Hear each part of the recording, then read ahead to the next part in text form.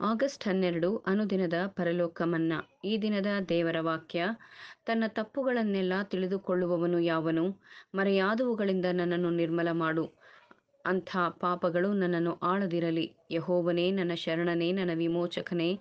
ನನ್ನ ಮಾತುಗಳು ನನ್ನ ಹೃದಯದ ಧ್ಯಾನವು ನಿನಗೆ ಸಮರ್ಪಕವಾಗಿರಲಿ. ಕೀರ್ತನೆಗಳು ಹತ್ತೊಂಬತ್ತು, ಹನ್ನೆರಡರಿಂದ ಹದಿನಾಲ್ಕು ವಚನಗಳು. ಈ ದೈವ ಪ್ರೇರಿತ ಪ್ರಾರ್ಥನೆಯನ್ನು ಪ್ರತಿಯೊಬ್ಬ ಬುದ್ಧಿವಂತ ಕ್ರೈಸ್ತನು ಎಡಬಿಡದೆ ಮಾಡುತ್ತಿರುವನು. ಇದರಿಂದ ಮರೆಯಾದ ತಪ್ಪುಗಳಿಂದ ಶುದ್ಧಿಯಾಗುವನು. ಹಾಗೆಯೇ ಅಹಂಕಾರ ಪಾಪಗಳನ್ನು ತಡೆಹಿಡಿದು ಹೃದಯಪೂರ್ವಕವಾಗಿ ಪ್ರಾರ್ಥಿಸಲು ಅನುಕೂಲವಾಗುವುದು.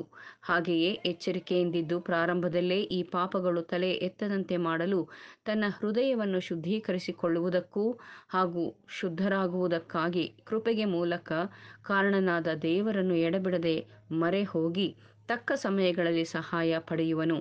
ಯಾರು ಶುದ್ಧ ಜೀವನವನ್ನು ಮತ್ತು ಕರ್ತನ ಸಂಸರ್ಗವನ್ನು ಅಪೇಕ್ಷಿಸಿ ಕೇವಲ ತೋರಿಕೆಯ ಅಥವಾ ಅನುಮಾನಿಕ ಪಾಪಗಳನ್ನು ಮಾತ್ರ ಕಾದುಕೊಂಡು ತನ್ನ ಮನಸ್ಸಿನಲ್ಲೇ ಪ್ರಾರಂಭವಾಗುವ ಗುಪ್ತ ಪಾಪವನ್ನು ಲೆಕ್ಕಿಸದೆ ನಡೆಯುವವನು ಒಳ್ಳೆಯದನ್ನು ಮೂರ್ಖನಂತೆ ಮತ್ತು ಅವಿವೇಕತನದಿಂದ ಬಯಸುವವನಾಗಿರುವನು.